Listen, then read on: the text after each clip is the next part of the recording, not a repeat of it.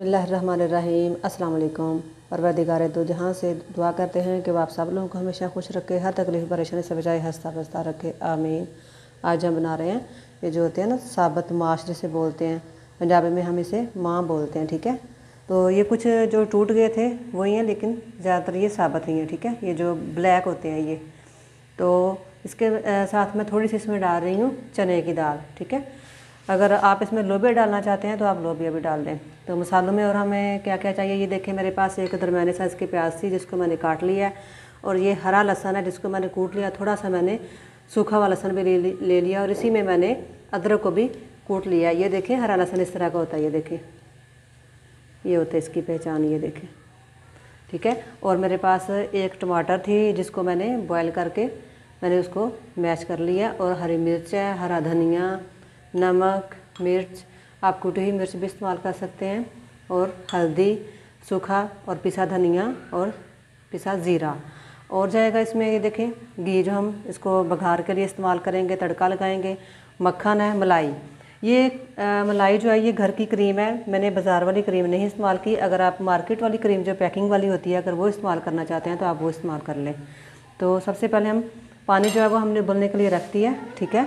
तो हम उस, उसमें डाल देते हैं साबत माश को। बिसमीम चने की जो दाल है उसको हम ज़रा ठहर के डालेंगे क्योंकि माश जो है वो गलने में ज़्यादा टाइम लेते हैं और दाल जल्दी गल जाएगी ठीक है? तो इसको हम दस से पंद्रह मिनट के लिए इसको उबलने के लिए रख देते हैं। उसके बाद हम इसमें चने की दाल डालेंगे। बसमीम माश जो है वो देखें माशाल्लाह से गल गए हैं लेकिन ये भी फुल नहीं गले। ये देखें इतने गल गए हैं। अब हमने क्या करना है? इसमें डाल देते हैं चने की दाल, जिसको हमने भिगो के रखा हुआ था पहले, ठीक है? और साथ ही हम इसमें डाल देते हैं थोड़ा सा नमक। थोड़ा सा नमक डाल के इसको दोबारा कवर कर देते हैं, ताकि जो चने की दाल है ना, वो भी अच्छी तरह से गल जाए। बिसमीम चने की दाल जो है, वो भी गल गई है। ये देखें दालें हमारी जो है वो साबुत माश भी गल गए और चने की दाल भी गल गई है। लेकिन ये देखें, ये टूटे, टूटने दिया हमने। अगर आपको ज़्यादा पतली दाल पसंद है तो फिर आप इनको ज़्यादा बॉईल कर लें और इनको ऊपर से इस तरह से दबा के हल्का हल्का मैश कर लें इस तरह से। ठीक है? लेकिन मैं इनको इतना ज़्यादा मैश नहीं करूँगी। तो अब हम इनको चूल्हे से साइड से करते हैं और इनका इसका तड़का तैयार करते हैं अभी हम। तो घी गर्म हो गया। अब मैं इसमें डाल देती हूँ प्याज। प्याज के दो मिनट बाद हम इसमें हरा लहसुन और अदरक डालेंगे अब इसमें डाल देते हैं लहसुन। ये देखें अदरक भी मैंने इसी में कोट लिया था, लेकिन ये अदरक का एक पीस ऐसे ही रह गया। तो हरे लहसुन से इन ताला जो रहता है ना, वो बहुत अच्छा आता है।